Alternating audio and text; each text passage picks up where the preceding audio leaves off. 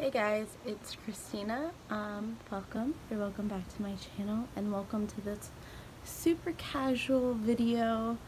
Not too much cooking, just just trying new recipes and trying new recipes of something I love, oatmeal. Um, I see recipes for oatmeal every day, many times a day, and yet I still eat the same oatmeal every week, three times a week or more. So I decided to try something new and get on some of the trends. I know I'm, I think the trends were really like a year ago, but I still see them all the time, so I think they're current enough. Alright, to the oats. So the first recipe I am trying out is from Healthy Girl Kitchen and it is her brownie baked oats. Um, I see this on my Instagram reels all the time and it looks so delicious. So I wanted to try it out. And I was very intrigued because it had ingredients that I already had. I didn't have to buy anything. I will say I should have bought coconut milk and I forgot. So then I used oat milk. But um, yeah, very intrigued by this recipe. It's naturally vegan, so I didn't have to make any substitutions. Um, I just start off with some oat milk, some maple syrup, and some peanut butter and vanilla extract as my wet ingredients.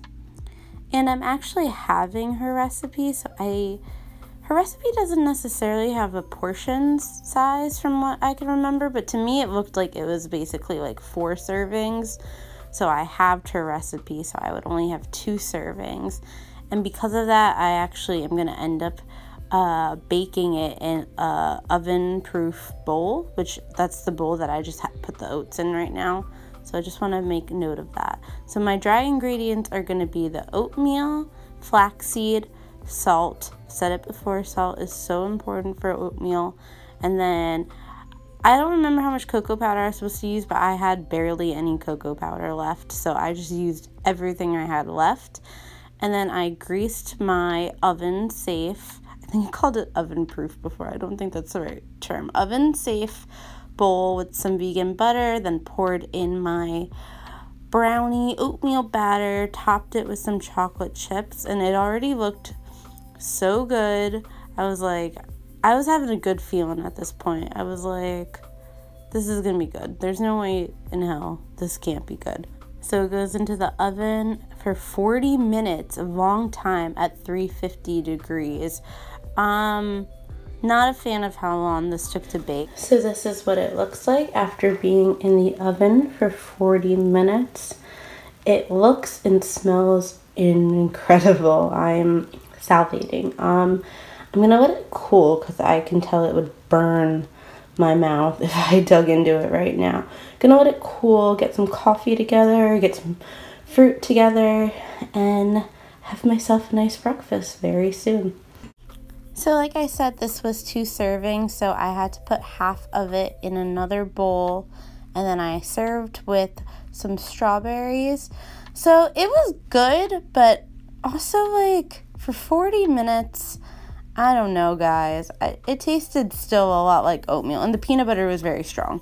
So our next recipe is going to be mug cake baked oats, which I think I was most excited for this because I love oatmeal and I love mug cakes, and baked oats always did just seem like mug cakes to me. So I thought this was gonna be um, a no brainer.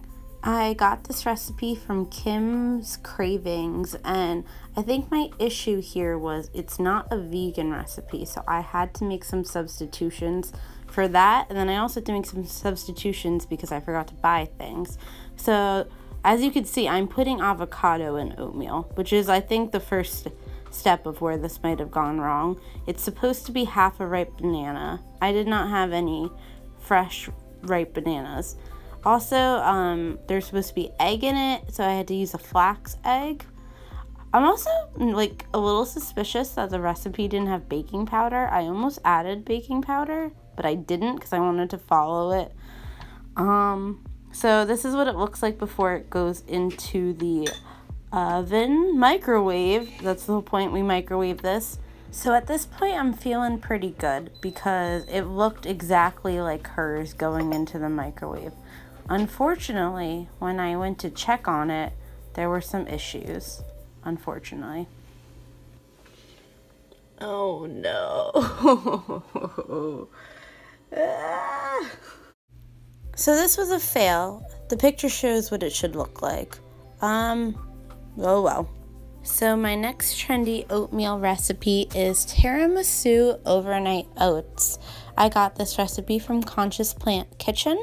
Um, I will say I didn't really follow it per se though, because so the oats are a base of basically chocolate oats and like chia seeds, which is how I already make my oatmeal. So I had that already pre mixed together.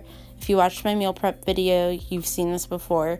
So then the only difference was I added in about like two teaspoons of instant coffee and I mixed that in with um, oat milk.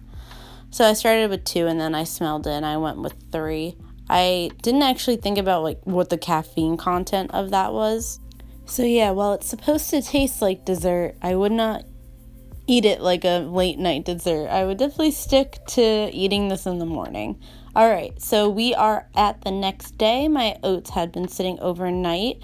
So what the recipe said to do is basically layer the oats with some vanilla dairy free yogurt. Uh, they actually mixed it with protein powder. I have no interest in doing that. I think I've stated before the protein powder I currently have is gross and I didn't want it ruining my, my oats, so I didn't do that.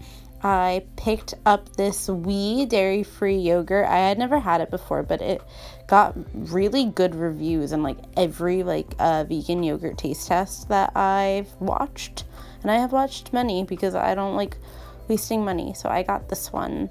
Uh, nutrition wise, there's really nothing going for it, but like for a recipe like this, I think that's okay. So this was also a fail in terms of um, composition. The layers didn't really work because I was too lazy to actually do layers. I basically did one big layer of oats and then one small layer of yogurt, one small layer of oats, and like a dollop of yogurt after.